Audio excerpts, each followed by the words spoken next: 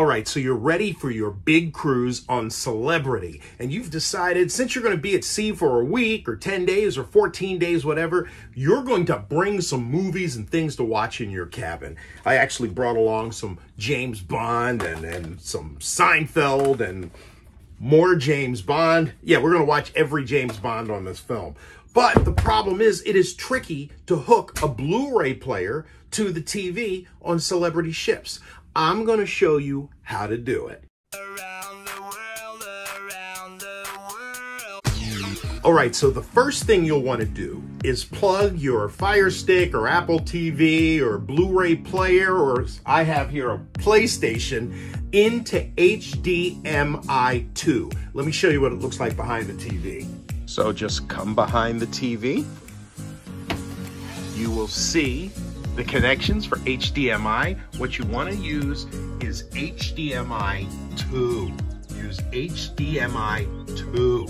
Plug in there. For some reason, HDMI 1 is disabled. So, yeah, use HDMI 2. Plug away. Now, it's a little tricky, so let me show you what to do. On the right side of the TV, on the underside, there's a little thing sticking out. It's a little button what you need to do is click on that. Here, I'll show you what to do. So, feel for that button underneath, and what you'll want to do is click it two times, and you'll notice a menu comes up on the screen. One, two, boom, there it is. And click it, and move it over to source. And when you get to source, hold it. Hold it, and boom, HDMI 2 your source is now on the TV. So whether you're using a PlayStation like I am, Fire Stick, Apple TV, Blu-ray player, DVD player, VHS machine, shame on you. Uh, you'll be able to watch what you want to watch on the cruise. Have a good time.